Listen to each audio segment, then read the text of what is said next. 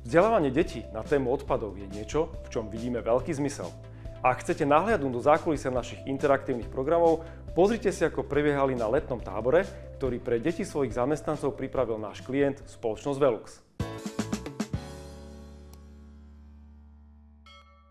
Čo sme tu dneska robili?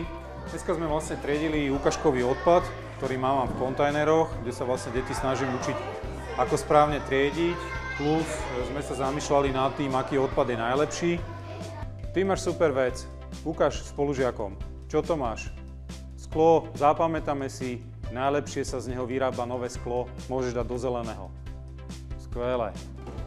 Ďalej sme potom robili aktivity s hrou Garbage Gobblers od Tani Zacharovskej, kde sme v podstate s deťmi preberali to, čo mali na raňajky, na obed alebo na večeru, v čom to mali zabalené a Snažili sme sa ich v podstate nejakým spôsobom začať rozmýšľať nad tým, že teda z čoho alebo z akých druhov materiálov je najviac odpadu.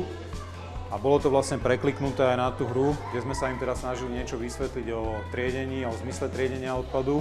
Nie len s, do, s dosahom na tento región, ale vôbec na celú zem. Keď si tú hru stiahneš, tak zistíš, že sú tam rôzne úrovne. Začínáš žrútom, ktorý žerie bioodpad, a raketa, ktorá ide okolo tej Zeme, vyhodí odpad, čo vyzerá asi takto. A keď si všimneš, tak nie sú tam len bio veci, ale sú tam aj plastové veci, sú tam aj papierové veci, sklenené veci, textil a tak ďalej. Áno?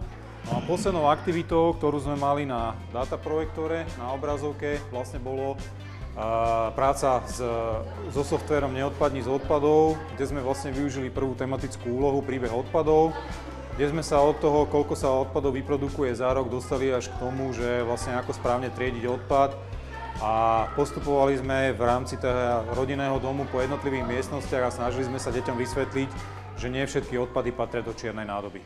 Sledujte nás na YouTube kanáli Naturpak verejnosti a staňte sa našim odberateľom.